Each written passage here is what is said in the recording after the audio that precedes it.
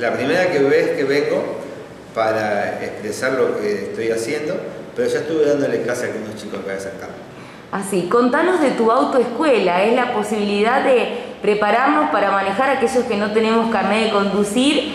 Contanos de qué se trata tu servicio. Bien, yo tengo la autoescuela que viene con doble comando, el auto está preparado y los chicos que estamos haciendo el curso estamos capacitados para poder ayudar a personas que no tienen idea de conducir a que empiecen a conducir.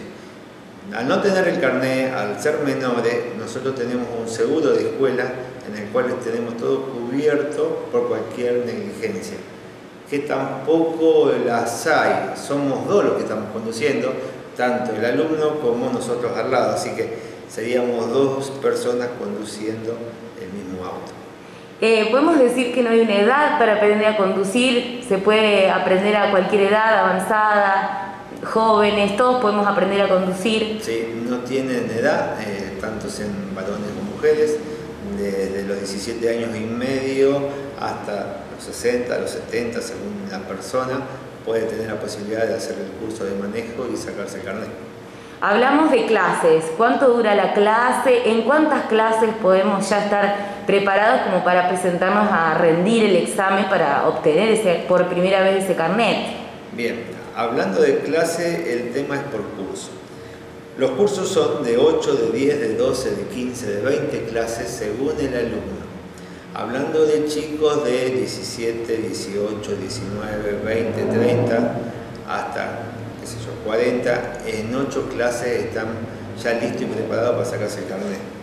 Hay algunos que les cuesta tal vez un poquito más el aprendizaje o sacarse algunos miedos, entonces pueden hacer las clases con cursos de 10, de 12, según el alumno. Todo es siempre según el alumno. ¿Cuánto duran las clases en sí aproximadamente? Las clases duran 45 minutos y en 45 minutos te puedo garantizar que te quedan los brazos tumecidos y, empezás a transpirar frío todo, las primeras clases que son todas informativas, después ya te vas relajando y vas disfrutando de lo que es el curso. Eh, es un mundo, el que no maneja, se hace un mundo, decir, tan difícil será otros que ya hace años que manejan, manejan con los ojos cerrados, podemos decir. Pero bueno, hay que romper, hay que ese bloqueo mental que se nos hace a los que aún no manejamos. Sí, a ver, el, el tema fue que cuando nosotros nos fuimos a capacitar, lo primero que teníamos que entender es que la persona que está sentada al lado no sabe. Entonces tenemos que enseñarles desde el primer punto de lo que es el auto. Y de ahí arrancamos. Todo es eh, evaluado, procesado y después lo van desarrollando a medida de que pasa el tiempo. Bien, eh, es todo un proceso, decíamos. Eh, vos llegás a San Carlos, te vas a manejar con algún número telefónico como para aquellos que estén interesados, ya empiecen a sacarse las dudas, empiecen a consultar por la cantidad de clases, el valor de las clases, el valor del curso. A ver, eh, sí, yo tengo mi número de teléfono particular, pero todo esto viene de la mano de Diego. Está, Diego fue el que inmovilizó todo esto, así que va a pasar por la oficina de él. Todo esto va a pasar por la oficina de él y de ahí en más me van a ir avisando, me vamos a ir acomodando, vamos contactándonos y todo. Eh, ¿Tenés alguna fecha estimativa? ¿Cuándo comenzarías con los cursos? ¿Depende de la cantidad de inscriptos? Hoy ya empiezo.